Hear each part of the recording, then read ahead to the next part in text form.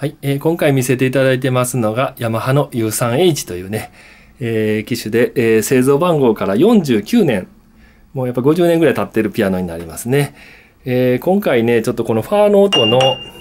この左の弦ですね、かなり狂ってたので、えちょっと見てみましたら、ピンのトルクがね、やっぱりちょっと弱くなってきてますね。え、ちょっとね、狂いが激しいなと思うところちょっと触ってみましたけど、やはりちょっとね、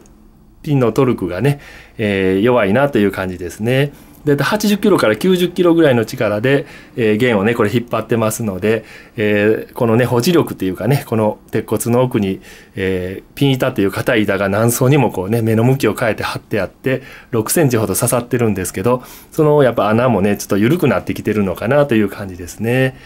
なのでこれからちょっとね、えー、狂いもえ出てくるんじゃないかなというふうなことも予想されてますし一つね低音の弦も切れたりねあのしたということもありますのでこれから弦もね切れてくる可能性もあるということを考えるとちょっとね弦交換を全部するねオーバーホールをするというふうなことも含めて、えー、ちょっと、えー、いろんなパターンでねお見積もりさせていただこうかなと思っておりますね。えー、っとまあちょっとね、9年ほどか10年ほど前にね、えー、ちょっとメンテナンスというかね、こういう部品とかは、えー、変わっておりますので、えー、フレンジコードとかね、この機種によくあるフレンジコードも綺麗に直っておりますし、えー、この鍵盤の小口もね、えー、直っておりますので、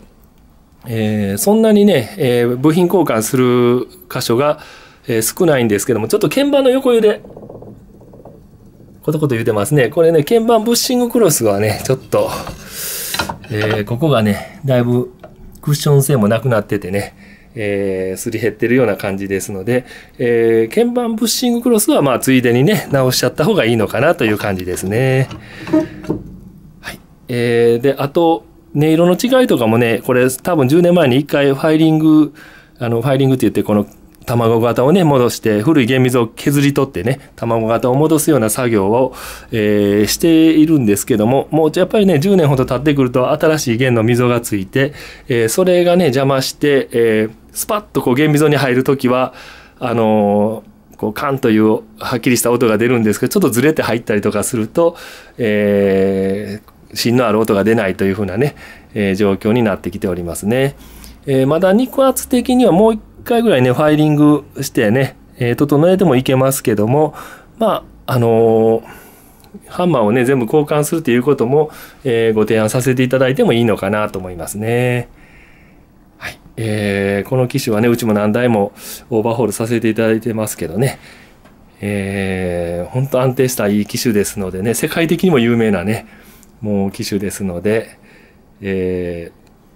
これはね、買い替えるとかね、いうことであれば、これをきっちり直した方がいいんじゃないかなと、私はね、考えておりますね。